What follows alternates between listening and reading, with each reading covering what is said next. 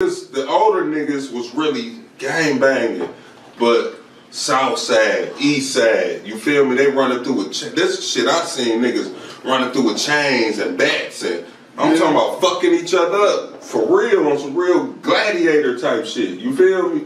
Like it used to be on some real man.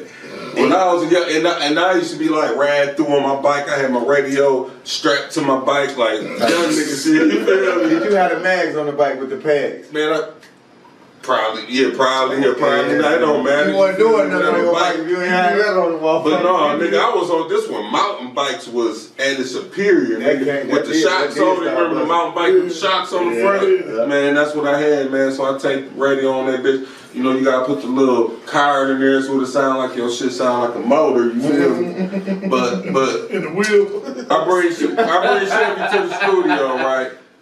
Scummy D, he on some hoe shit. You He feel me? bullshit neither. He on some hoe Yeah. shit. Come on with He uh he bring the hoes to the studio. We in the studio. I forgot what song we was making. I don't know if it was uh I forgot what the song was. Cause it wasn't hot, folks. Y'all was no, was- no, matter of fact, this song was hot. What was it? This Song hot, man. Nigga, this shit was like twenty something years I ago. that we be getting though.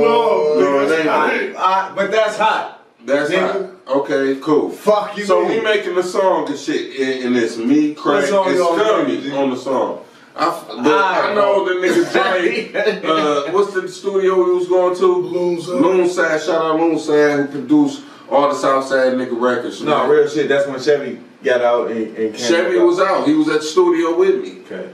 So Scummy started being on some some fool shit. Like he started like putting out all these ones and shit and acting crazy. We so like that. so Crack was he peeped it.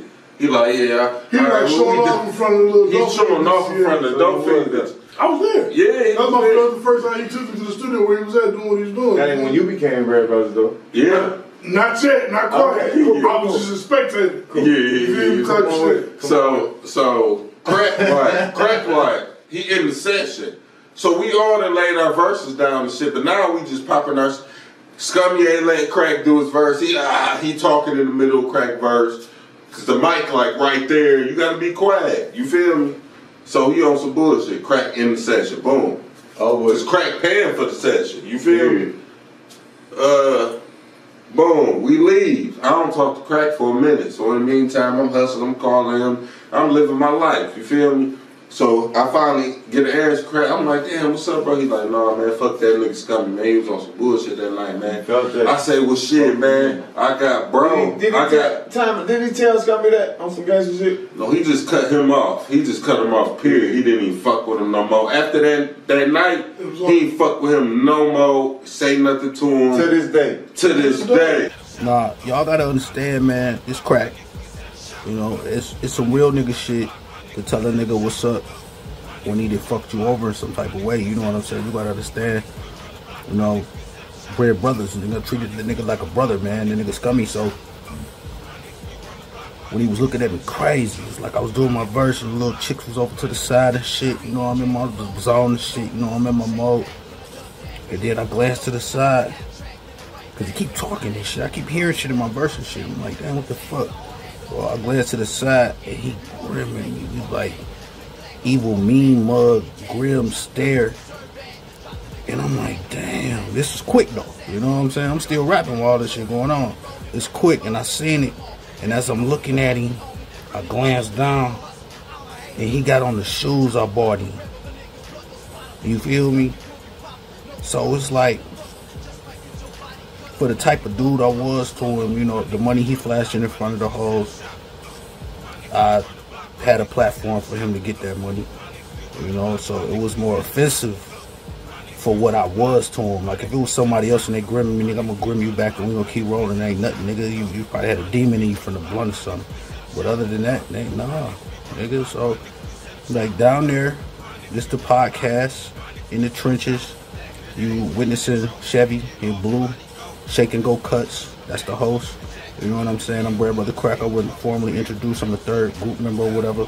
But when it comes to the scummy shit, man, it is what it is, man. I the reason I ain't talk to him is because I know me, man. You know, when I get to checking a nigga and telling him what, what he did, and how he was wrong and shit, I'ma feel away when you start denying the shit when I know what it is. You know what I'm saying? So is what it is, man. We got Chevy when we got Chevy, man. It wasn't no looking back. Like you know what I'm saying? Beautiful replacement. Uh, cause it's all about the talent. I ain't saying Scummy wasn't talented. I'm saying Chevy was more talented. You know what I'm saying? So I could elaborate a lot more. You know, it's a lot more I could put in there, but I ain't trying to really disrupt the uh, the move of the show or whatever.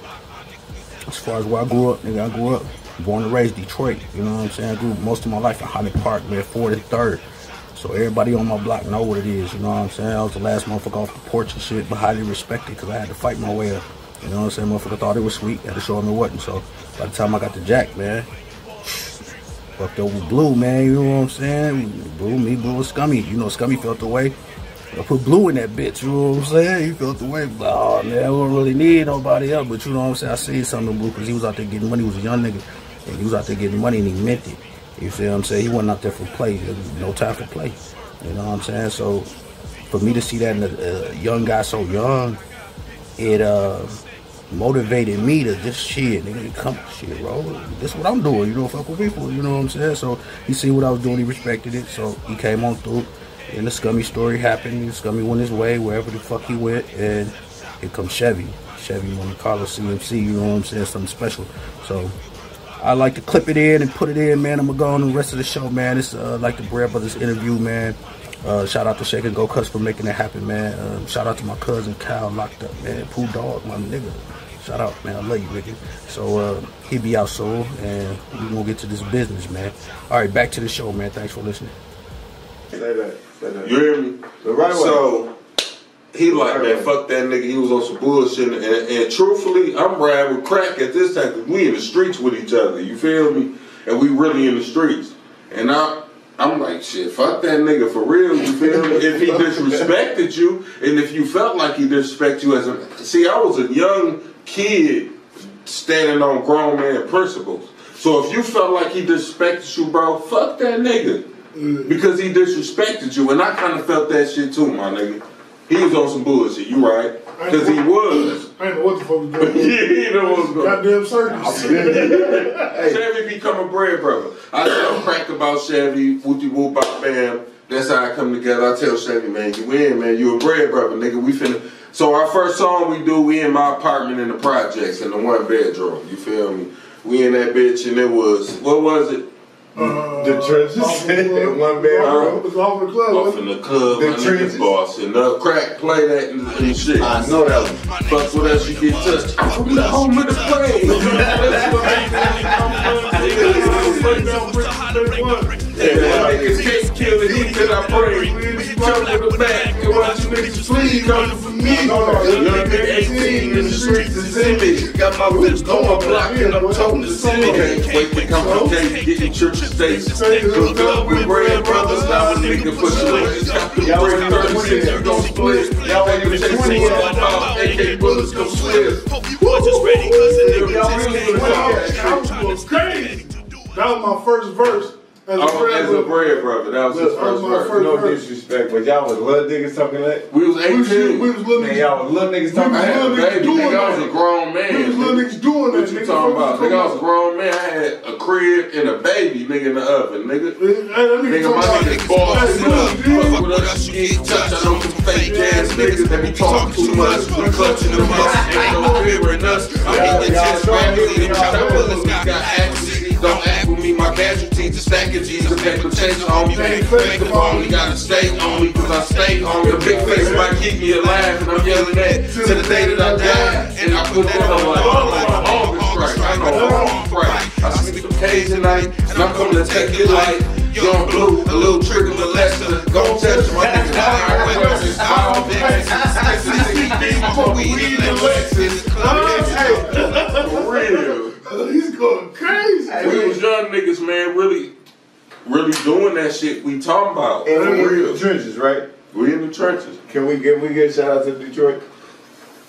Sure. Shout out to the city, Detroit. man. Because this was before the Shout out to time. Detroit. This This was before I was rapping. I was in Hit the that bitch once.